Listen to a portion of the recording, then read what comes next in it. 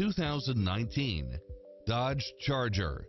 With less than 22,000 miles on the odometer, this sedan combines safety and comfort with style and performance. You won't be able to pass up on these extra features.